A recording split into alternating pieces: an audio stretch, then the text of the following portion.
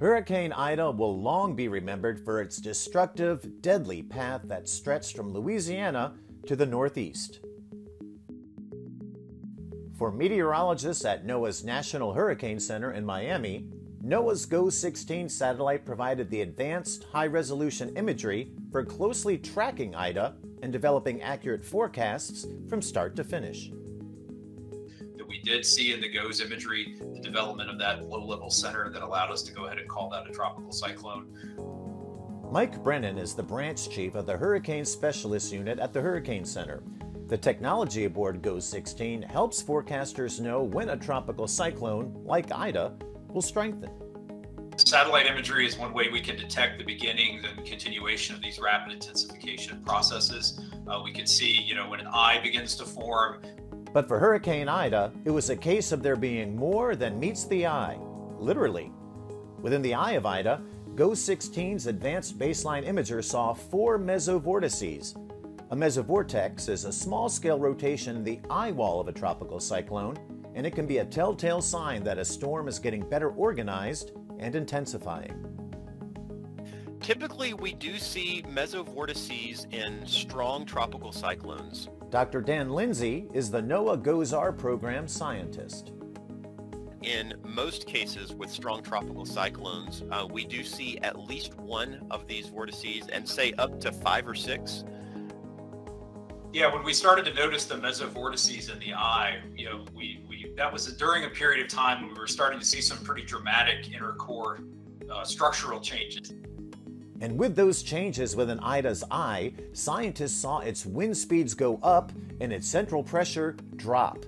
Both of those changes can make a hurricane's winds and storm surge more destructive and deadly.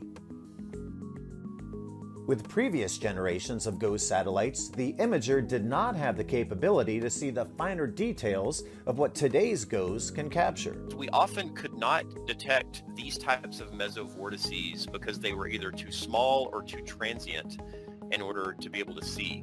We're able to actually watch them spin and track them as they move around the cloud field within the eye of the storm. But Ida still had a surprise after it made landfall.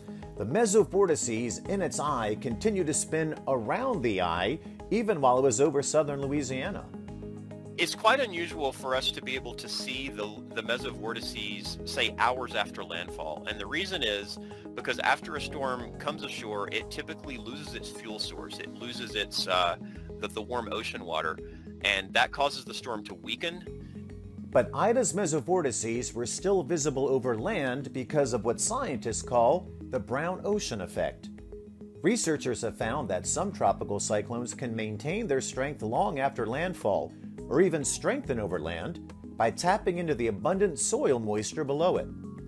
In some cases, an area of land may have so much moisture contained in it that the hurricane behaves as if it were still over water.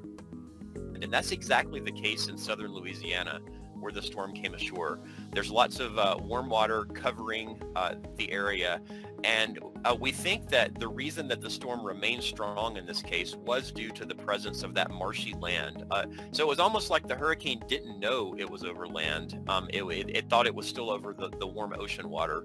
And for that reason, that is probably the reason the storm remained strong after it came ashore. Hurricane Ida will definitely be a storm for the history books, and its full impacts are still being tallied today.